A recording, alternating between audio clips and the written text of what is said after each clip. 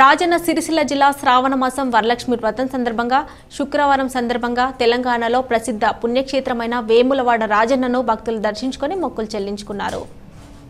అనంతరం కోడెమొక్కులు చెల్లించడానికి భక్తులు బారులు తీరారు.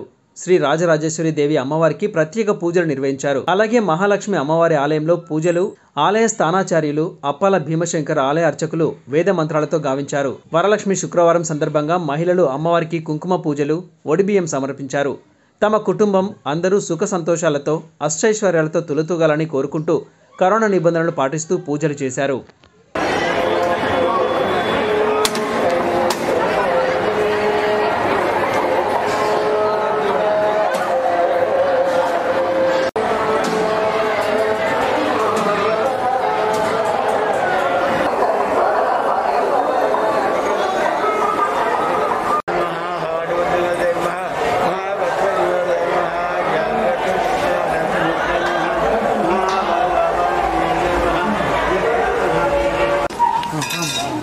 嗯，然后就。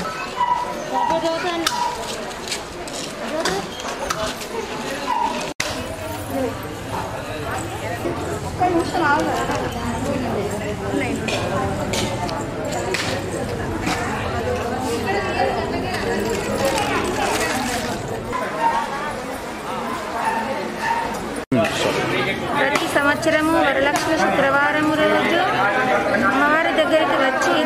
చేసుకొని ఓడిబియ్యం సమర్పించి బ్లౌజ్ పీసులు కుడుకలు అరటి పండ్లు పోకలు ఖర్జూరాలు అన్ని అమ్మవారికి అర్పించి అమ్మవారి ఆశీర్వచనం తీసుకొని వెళ్ళగలరు ఈ అమ్మవారి దగ్గరికి వస్తే అంతా శుభమే జరుగుతుంది.